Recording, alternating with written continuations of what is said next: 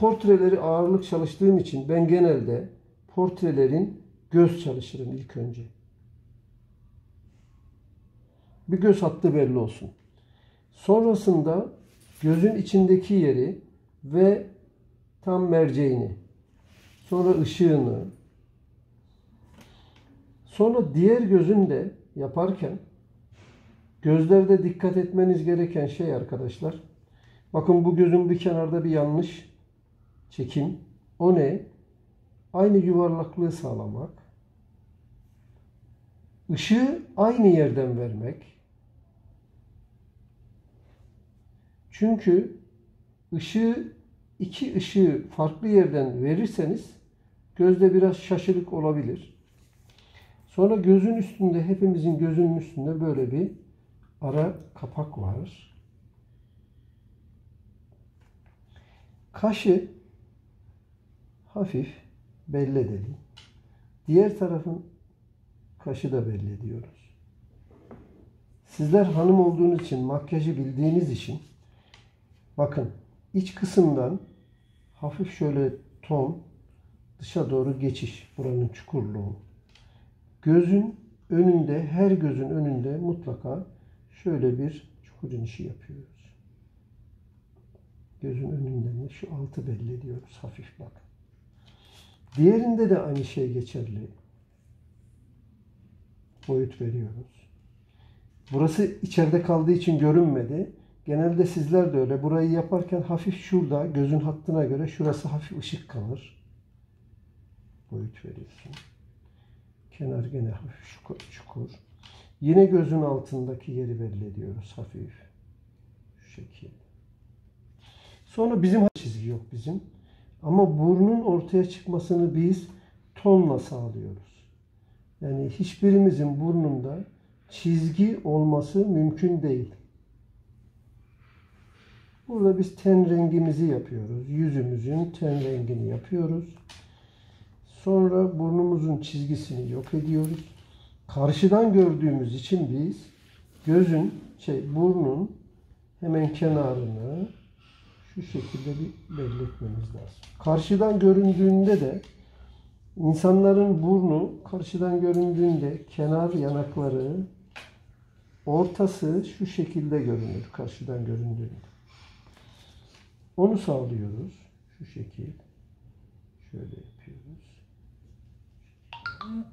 Tamam arkadaşlar. Orta dudağın oraya iniş ortası biraz çukur olur. Ama şu araları mutlaka kapatmamız lazım ki çizgi yok olsun. Sonra vücudun, yüzün bir ten rengi olduğu için burnun da tabii ki kendine göre bir ten rengi var ama onun yukarıya geçişen burnun yuvarlaklığını sağlayalım. Hem çizgiyi yok edelim. Orayı biraz böyle yumuşatarak geçiyoruz. Burnun da sivri olup patates burun olup bilmem ne olup yani tabiri caizse siz nasıl hitap ederseniz onları sağlamak da sizin elinizde ton vererek istediğiniz burun şeklini tamamlayabilirsiniz. Şimdi bu şekilde yüze renk verirken dikkat edeceğimiz ikinci noktaya geliyoruz. Yanağının burada bizim gülücüğünü yaratacağımız, ciddiyetini koyacağımız bir ifade verebiliyoruz. Şu şekilde. Fazla suratsız yapmayalım. Hafif böyle gülümser havası verelim. Şu şekil. Hatta şuradan gelişte şurada hafif bir gamze yapabiliriz. Bunlar hep size kalmış şeyler. Ve sonra tonlama yaparken kenardan bakın çizgi yok bizim hayatımızda. Biz çizgiyi yok ediyoruz. Vücudun, yüzün kendi tenini yakalarken çizgiyi içine katıyoruz. Sonra yüzün şu elmacık kemiğinin dönüşünü biz isteğimize göre verebiliriz. Elmacık kemiği çıkık mı değil mi? Hemen ona göre şöyle bir dönüşle şekil veriyoruz. Yani insanı tombul mu yapacağız, zayıf mı yapacağız? Bak. Şekil. Şimdi yine kenar çizgilerini katıyorum. İzleyin lütfen. Hiç aceleye gerek yok. Şuradan tekrar bu elmacık kemiğini biz çıkarttık ama mutlaka gözün önü hafif yine şöyle bir çukuru vardır. Dikkat edin geçişleri hep böyle yumuşak yapıyorum. Çünkü birden koyu birden açık yok. Amaç o yuvarlaklığı yakalamak. Geçişim ya yeni başlayanlara. O antrenmanları sürekli çalışacaksınız arkadaşlar geçişle. Yine kenarın çizgiyi yok ediyorum. Şuradan inişi şuradan aldık gene. Çeneyi de yok ediyoruz. Birazını bu tarafa katıyoruz. Bakın dikkat edin buna. Çizgiyi yok edeceğimiz için. Birazını buraya kattık. Diğer yanında yine çizgiyi yok ediyorum. Geride kaldığı için burası koyu. Arka taraflar hep koyudan açığa doğru gelir. Biz bu yüzde otomatikman 3 boyutu oluşturacağız. Yani yüz öne çıkacak.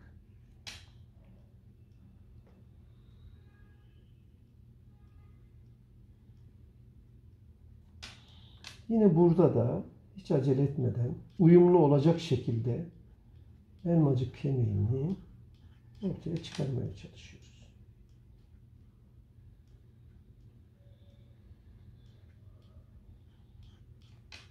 Tabi yüz bembeyaz değil. Orada da hafif tonunu veriyoruz. Yine gözünün önündeki ifadeyi bırakıyoruz. Buraları yine hafif ton çalışıyoruz. Geçişleri yapıyoruz. Yine dudağının kenarından iniş yapıyoruz. Ortadaki çukuru oluşturduktan sonra kenarı yaparken ortada şurada az bir ince açıklık bırakabiliriz. Şekilde düşünün. Sonra burası normal, biraz daha koyu ten. Çünkü buralar çıkıntı. Buraları da yaptık. Hatta dudağını biraz daha böyle gülümser havası verebiliriz. Şekil. Dudakların alt kısmında şöyle bir çeneyi ortaya çıkartan hafif çukur oluşuyor. Onu yapıyoruz. Yine şu sol tarafta yaptığımız gibi kenar çizgimizi yok ettik. Çizgimizi biraz yok ettik.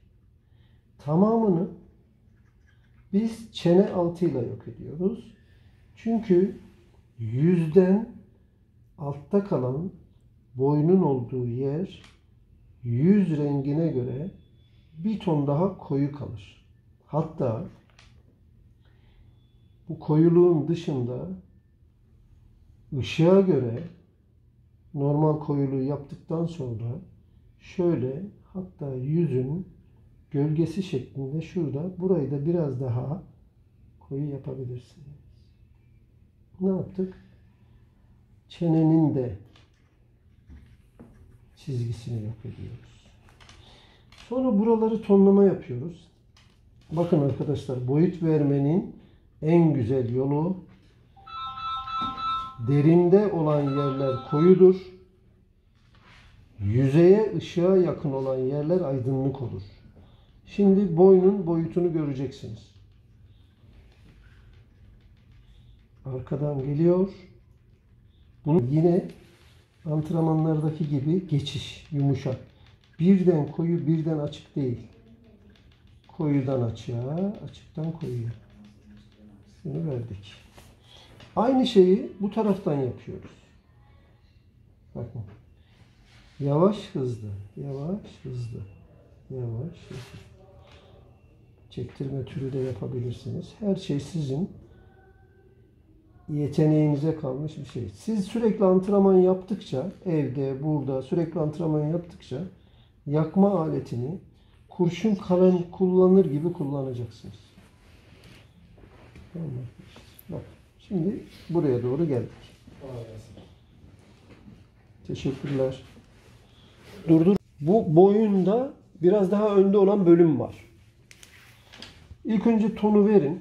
Burası normal bir ton yapıyoruz. Sorun değil. Sadece ahşabın kendi renginin dışına çıkmış olalım.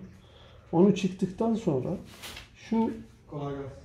Teşekkürler. Yüzü ortalayacak şekilde, boynunun bize bakışını ortalayacak şekilde şurada o ortadaki çıkıntıyı ayarlıyoruz.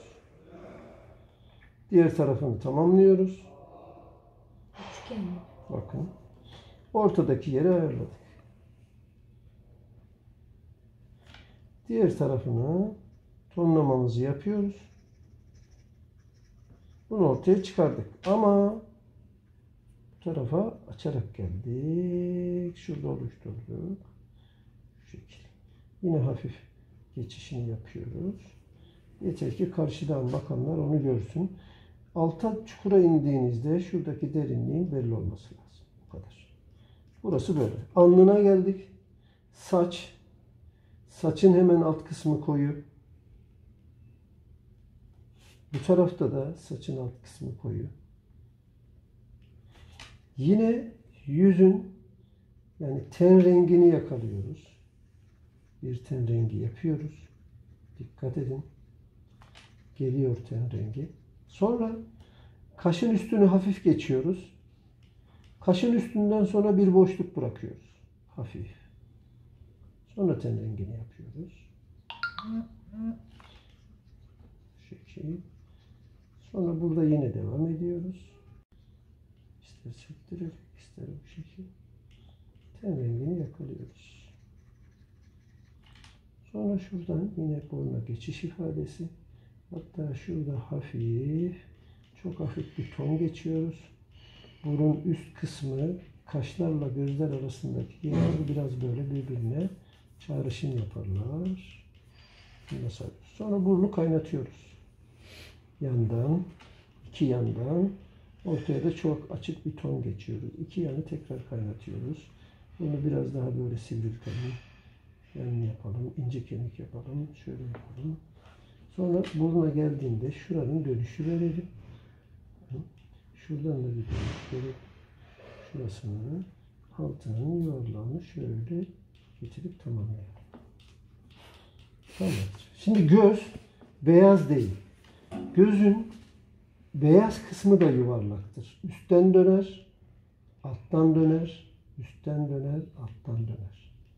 Göz yuvarlaktır. Üstten döner, alttan döner. Şuradan da üstten döner, alttan döner. Ortada da çapak biriken yerlerimiz vardır. Tamam mı arkadaşlar? Şöyle hafif son efektleri yapalım.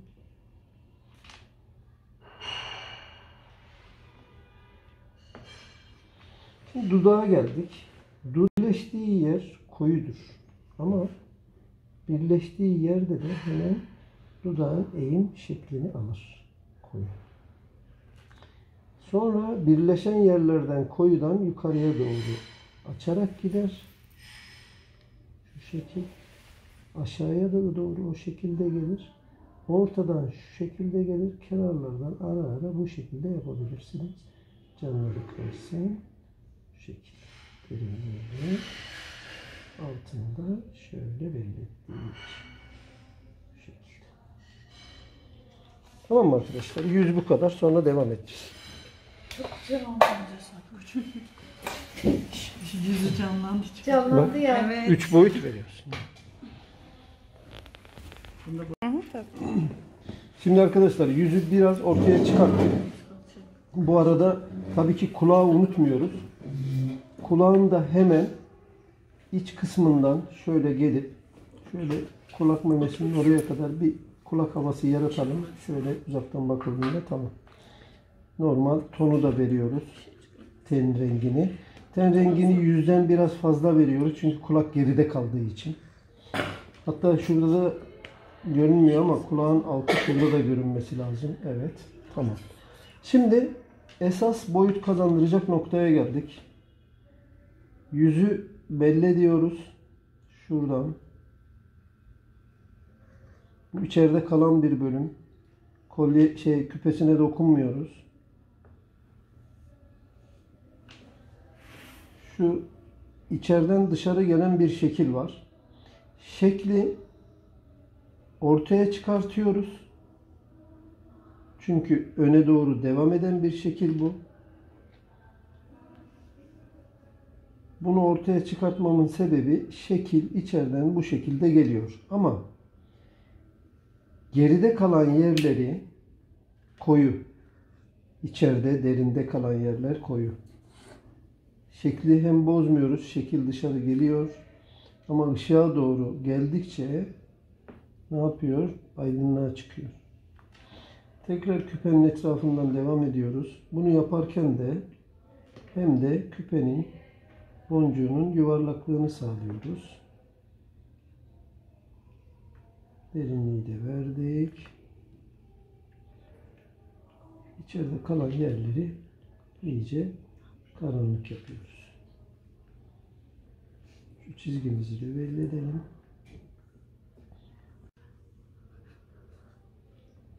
Şimdi geldik diğer tarafına. Diğer ta- tarafta da aynı şey geçerli. Yine çeviriyoruz ki derste anlattığım gibi telin sıcaklığı sarartmasın diye. Yine boncuğu bırakıyoruz. Şimdi ben diğer kulaktaki e, ne o boncuk? İnci diyelim. İnciyi küçülttüm. İsterseniz buradaki büyük oradaki küçük de kalabilir. Ama biz şekli bozmayalım. Diyelim ki biz buradaki inciyi de bunun gibi yapalım. Aynı boyutu yakalayalım. Şekil.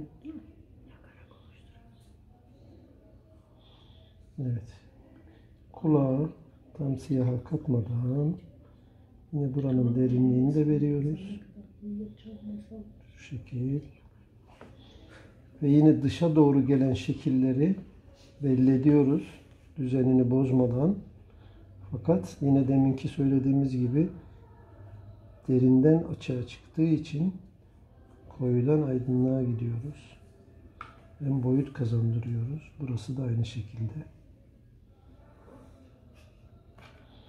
Şuralar da aynı. Şimdi düzeltebiliriz. Tatlı. Geldi. Evet. Şimdi derinliği tam belli eden yer şu ton.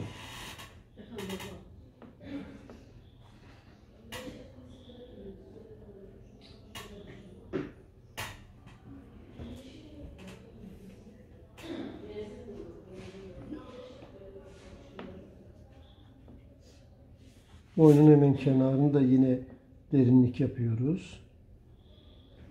Yüzeydeki ışığı alana kadar derinlikten aydınlığa doğru o mesafeleri yakıyoruz. Sonra geldik. Şu şekillerin çıkışını yine devam ettiriyoruz. Bunun üzerinde oynamalar yapacağız. Şu şekil.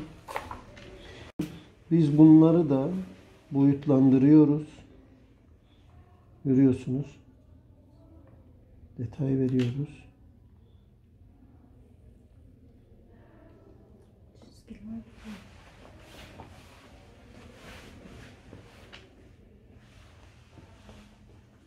Evet şimdilik bu kadar arkadaşlar. Bir görelim. Bakın derinlik kazandık. Dışı da yine tonlama yapılacak. Teşekkürler.